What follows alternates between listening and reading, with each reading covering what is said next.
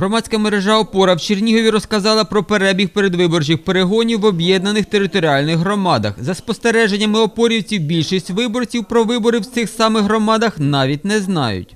Я вже практично об'їхала ну, всі громади і спілкувалася просто з людьми на, на, на вулиці. Люди говорять, які вибори, про що ви говорите, кого ми вибираємо.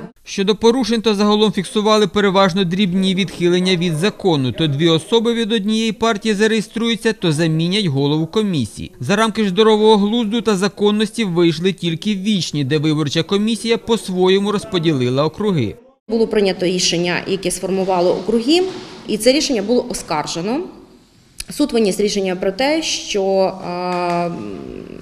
неможливе таке, а, такий розподіл округів, і воно було прийнято з порушенням закону. Комісія не дотрималась рівної кількості виборців у кожному окрузі. На що е, послідувала ціла епопія, Комісія цього рішення не виконує. Утворені округи е, за підсумками суду незаконно утворені округи.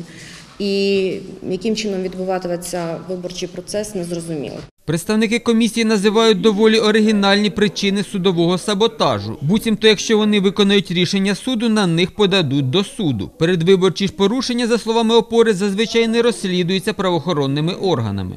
По е, минулій кампанії, коли було зафіксовано роздачу рису, коли людина написала заяву, і в принципі далі це ну, просто не пішло. Знали хто, знали кому, знали куди і за чим. Ну, Загалом у 14 об'єднаних громадах на Чернігівщині, де 29 жовтня проходитимуть вибори, серед кандидатів найбільше переважають самовисуванці та представники таких політичних сил, як Блок Порошенка, Батьківщина, Радикали Аграрії та Наш край.